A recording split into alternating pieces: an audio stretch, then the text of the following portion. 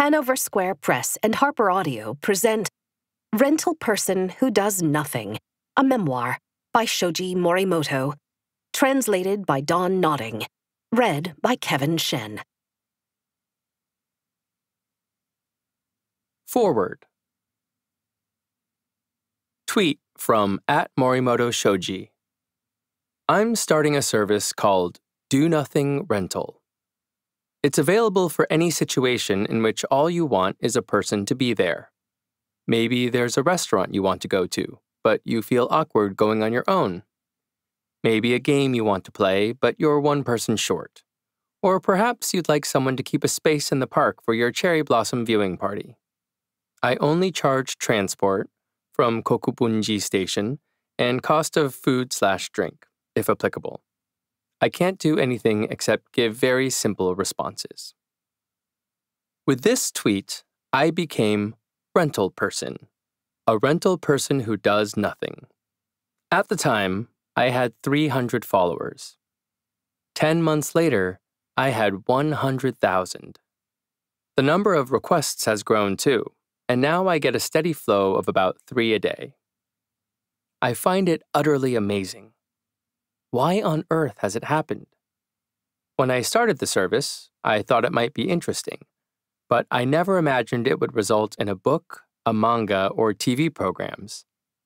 And when I tried to hide my surprise, people started talking about my aura, as though I'm some kind of star. Readers must find it bizarre. Nobody could have predicted this reaction. After all, I do nothing. I am the type that people get cross with at home, at work, at a barbecue. Why should a person like that be in demand? This book is an attempt to answer that question. If it was written simply by me, I think it would be too subjective. I'm very confused about what's happened, and on my own, I'd find it tough to come up with a convincing book. So we tried an experiment. A writer, S, and an editor, T asked me questions and I gave them very simple responses. And through that process, we tried to find an answer. S is not a particular fan of Rental Person. He is written objectively and in a way that people who don't know anything about my activities can get a clear picture. So, with that as my excuse, I have, as usual, done nothing. I have simply watched with interest and surprise as this book has developed. Chapter 1 Doing Nothing DM to at Morimoto Shoji. I want to taste a Starbucks Hojicha Frappuccino. I like sweet things normally, and I've heard that it isn't that sweet, but I'd still like to try it. I don't think I'd be able to drink it all, so would you share it with me? I wouldn't like to leave any. Tweet from at Morimoto Shoji. I liked this request. It was simple, sincere, and a bit sentimental. The client suggested we meet on a weekday, a sunny one, because rain would be a nuisance. That was nice, but I also liked the fact that, in the end, it poured. Why did I start this do nothing rental service? One reason was the idea of payment for being, which I saw in a blog written by health counselor Jinnosuke Kokoroya. My wife follows this blog, and I happened to notice that particular expression on her screen. I'd never really thought much of Kokoroya. His solutions always seemed too easy. But some of his sayings struck a chord with me, and Payment for being was one of those. Essentially, pay is given for work. It's exchanged for something being done. But Kokoroya argued that people should be paid for just being there, that people have a value even if they do nothing. The idea didn't hit me that forcibly at first, but it sounded interesting. It slipped into a corner of my brain and took root. I began to wonder if payment for being might be a real possibility. Not long afterwards, I heard about Pro Ogorareya, the professional guest, a man whose job is having meals with people. He has no fixed address. He just asks people on Twitter to give him food and somewhere to stay. Of the offers he gets, he chooses the ones that look most appealing. People criticize his way of life. They get angry that he doesn't get a job and feed himself, or they laugh at him, saying he's just a gigolo. But I thought it sounded like a great way to live. Here was someone being paid for just being, proof that it was possible. In that moment, something that had been hidden inside me sprang to life a wish to live without doing anything. I thought about what Pro Ogorareya had done, or rather, I practically copied his ideas, and before long, my do nothing service was up and running.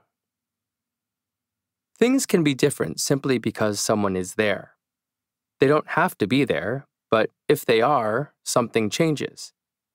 In this chapter, I want to think about some of the requests I've had just to be there. Going to a restaurant with someone who doesn't feel comfortable going on their own, watching a drama rehearsal, sitting with someone while they work, watching someone doing household chores. How do such situations change when a person is rented out simply to be there? DM to at Morimoto Shoji. I'd like you to think of me sometime tomorrow or the next day. Just say to yourself, is she okay? Or something like that. Think of it as support for a newly employed graduate who's had their day off canceled. There's no very strong reason for this request. I was feeling tired and it just kind of came into my head. Tweet from at Morimoto Shoji. A request from someone who wanted me to think of them for a moment over the next couple of days. I read the request again and again because I wasn't sure I understood it. But I accepted it on the assumption that it really was just a matter of thinking of her. I let her know later that I'd done so, and in her reply, she said that it had had an effect a response that provided both relief and a degree of worry. Before I became a rental person who does nothing, I did, of course, do something. I'll talk more about it later, but for now, I'll give a brief CV.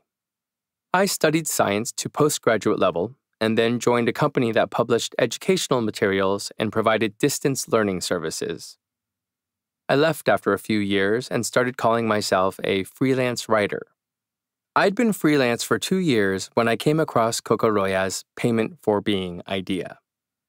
By that stage, I wasn't actually doing much writing. I had no respectable reason for this. It was a question of the work being boring and the pay unattractive. The expression freelance writer covers quite a wide spectrum, including advertising copywriters, anonymous magazine and website writers, columnists who write under their own name, and so on. What they have in common is that they make their living through fee based writing.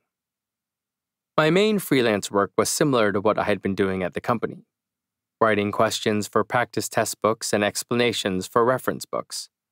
Besides that, I wrote copy for business pamphlets and summaries of interviews. At first, I just got on and did the work without thinking much about it but I gradually began to realize how dull it was. I couldn't dissuade myself from feeling that I was doing something that I simply didn't want to do. The job of writing had become stressful. Of course, the amount of money people are paid for work, in my case, writing fees, depends on the market, and no account is taken of the stress involved. This didn't feel right to me. It seemed unfair that people who wanted to do the work and didn't feel at all stressed by it got paid the same as people who didn't want to do it and did feel stressed by it. It seemed wrong that I was getting nothing for the mental burden the work was giving me. I can imagine people muttering to themselves, well, there's no such thing as an easy job. And I fully appreciate that there's nothing unusual about work stress. But even so, the situation really bothered me. Some people may wonder why not look for another job? That's exactly what I'd been thinking when I left the company. I decided to go freelance and only take on jobs I wanted, writing about things that interested me and interviewing people I wanted to interview. but it ended up feeling repetitive. You accept one assignment, and you end up doing a series on the same subject, or you are asked to do something very similar for another company in the same field. People are always looking for a good result to be repeated. I found it depressing. I didn't enjoy writing like that. It was stressful to have to meet expectations. For example, when a company wants exam practice questions, they're looking for a certain standard with delivery by a certain date. If I managed to meet those expectations, then I was likely to get similar work with the equivalent or higher levels of expectation. They might say, Make the explanations briefer this time, or How about adding some hints for the students? Having these external pressures was bad enough, but there was something inside too. I like to feel my work is fresh and meaningful, so rather than just rehashing old questions, I always tried to think of new material. Unfortunately, though, I'm not that creative, and I soon ran out of ideas which meant I had to do research. I got no pay for this research, but I felt I had to do it nonetheless. This stressed me out even more stress that I wasn't paid for. Inevitably, there are times when you end up with more stress than pay. That's when I don't want to do the work. And that's the reason I've given up all the jobs I've ever had. DM to at Morimoto Shoji. Hey, rental person. I'd like to go and sit in the park in the evening breeze with a can of Chuhai, but I think I'd look a bit odd drinking on my own. Would you mind coming along? Tweet from at Morimoto Shoji. I accepted this request last night and was given a lot to drink. Summer, nighttime, a park, alcohol. It was a powerful mix. I got pretty drunk and I haven't quite recovered. I'm supposed to meet some people today, including a YouTuber I retweeted. I'm sorry if things don't go to plan. Without abandoning my freelancer work, I started a blog. I thought that with a blog, I'd be able to write what I wanted, and maybe I'd stick at it. But I grew short of material and didn't really want to spend my life hunting up stuff to write on a blog. I told myself to be a grown up and stick to something, but the stress always got too much.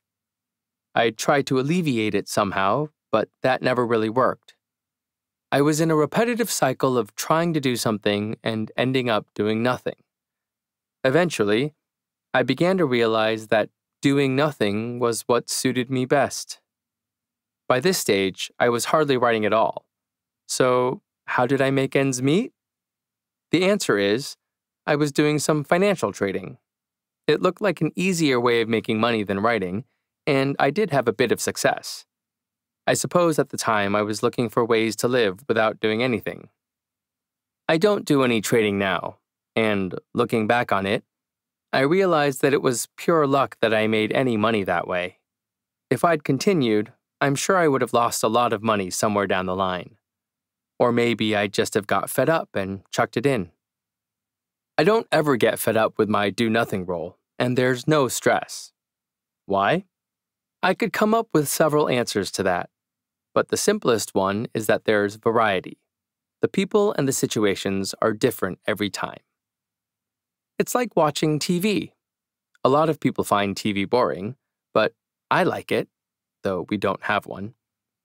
You can just sit around doing nothing while the TV churns out entertainment, news, and commercials. I find it gives me just about the right degree of stimulus. Do Nothing Rental gives me a similar kind of passive entertainment, even though in this case I'm the service provider rather than the service user.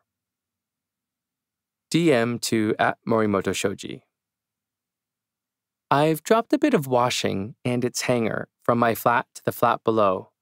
When I first moved to this building, I got a lot of complaints via the managing agent about children running about and the neighbor often came up to complain in person. I addressed the situation each time, and I haven't had a complaint for about six months. Even so, I'm nervous about going to get the washing and wondered if you would come with me. Request to come and stand behind me while I ask for my washing back, then listen to me talk about it afterwards in my flat. Tweet from at Morimoto Shoji. The client has had frequent trouble with the tenant downstairs and didn't feel safe meeting them alone. They had no one else to ask on the day, so they contacted me. The washing was retrieved, but the situation remains awkward and the client still feels scared. Both my writing work and my blog had become dull and routine. There was no easy fix. I found it very difficult, even impossible, to find the variety, the new stimuli that I wanted. But now stimuli and variety are provided by others. It's very easy. I leaped blindly into this do nothing service. I didn't know what would happen, but I had a feeling it might lead to interesting things. And that's the way it's turned out. Did I have any resistance to spending long periods of time with people I didn't know? The simple answer is no. When I was a freelance writer, I used to attend what we called a philosophy cafe. About 10 people who didn't know each other got together for two hours to discuss serious questions like what is freedom? What is love? And can violence be justified in the name of justice? I enjoyed it. I used to hate talking to people at school or in the company, people who were part of the same fixed community. But when I went along to the philosophy cafe, I found myself talking readily with people I didn't know. I felt comfortable in a community that existed just for the moment, with simple, temporary relationships uncomplicated by past or future. DM to at Morimoto Shoji. I split up with my boyfriend last year. I really liked him and I'm not completely over him. On the 13th, it will be exactly a year since he was unfaithful to me. That was why we split up. I don't have the confidence to spend the day on my own, but I think it would be too much to drag out a friend on a Monday night. I wondered if you would mind going for a drink or something. Tweet from at Morimoto Shoji. We went to a nice Italian place in Shibuya. If this was a late night TV drama, you might have expected some kind of romantic development. As it was, we had a bit of pizza and went our separate ways. People tend to think that personal matters should be spoken about with those who are close friends, lovers, or family members. But since starting this Do Nothing service, I've learned that there are a lot of important things that can be talked about with people you don't know very well or even at all. Depth of discussion and depth of relationship don't always go hand in hand. We hope you enjoyed this preview. To continue listening to this audiobook on Google Play Books, use the link in the video description.